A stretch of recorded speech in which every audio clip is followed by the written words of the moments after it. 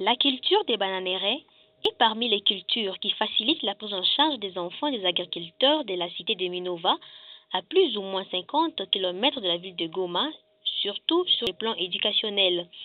Mais depuis que le wilt bactérien avait attaqué les bananeraies, certains enfants n'ont pas le moyen d'aller à l'école cette année et font des petites activités pour procurer l'argent et étudier l'année prochaine, comme c'est le cas de cet enfant.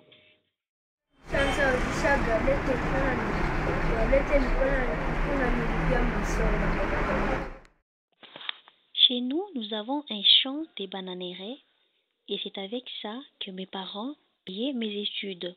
Mais malheureusement, ça a été attaqué par une maladie. Je n'ai pas étudié cette année.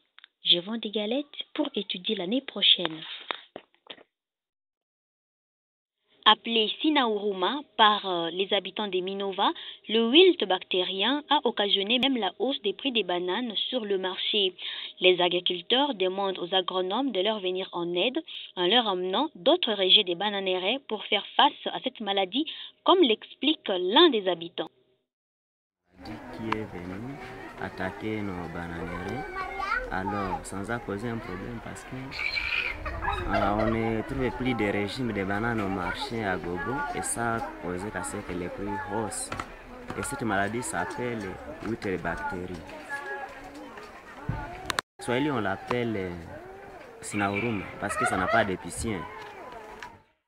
Je ne sais pas, alors c'est aux agronomes maintenant de nous amener d'autres peut-être régimes qui soient adaptés peut-être au climat ou bien à notre sol.